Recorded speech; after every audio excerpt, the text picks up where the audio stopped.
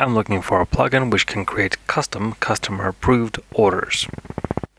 This here is a standard WooCommerce product with the exception of an upload field and a text box. The client will be able to take his photo and drag it in for upload and also add a custom text message and then place his order. While in cart, he will still have the option to change the photo or edit the note, or if he has not done that yet, he will then be able to upload it and proceed to checkout. Here, the customer will have one last chance to make the changes and then he'll be able to place the order. We'll take him to his customer dashboard where he will be able to continue with his order.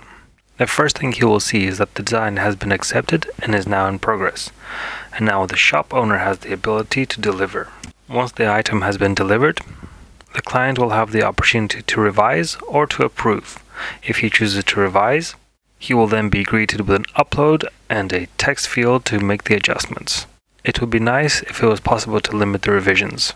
After submitting for review, the shop owner will be able to deliver the order once again. If there's more than one option, there should be radial buttons to choose which one is to be revised or approved. If approved, the order will be sent to a print on demand store for printing and shipping. Currently, there is no such plugin on the market.